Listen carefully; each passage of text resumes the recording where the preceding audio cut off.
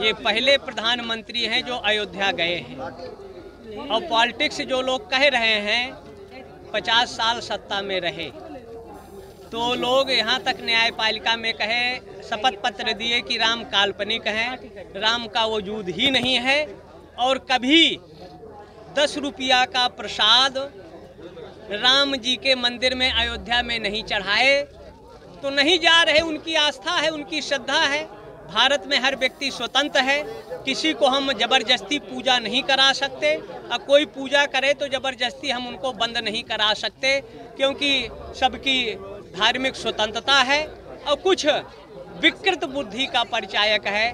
जब mentally disturb होता है, प्रीति करें जब तीनों भाई उपजय सन्न पात दुख दुखदाई जब जिनका दिमाग गड़बड़ होता है तो उनको राम से कटुता दिखती है। रावण जैसा तिकालदर्शी विद्वान, जिसको ब्रह्मा पढ़ाने आते थे, लेकिन वो राम से सदैव विरोध करता रहा।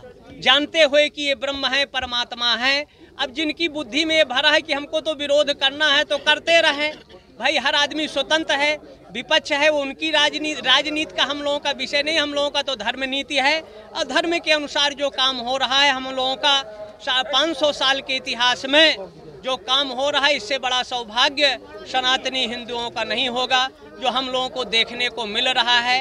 हाँ वो दिन भी देखे हैं नवासी नब्बे में, जब गोली मारी गई और लाशें पड़ी थी, कुत्ते खन, ढनगना रहे थे और ज़िंदा पुलिस वाले पत्थर बांधकर सरजू में बहा रहे थे, वो भी देखा है सरकार, और आज भी देखा है।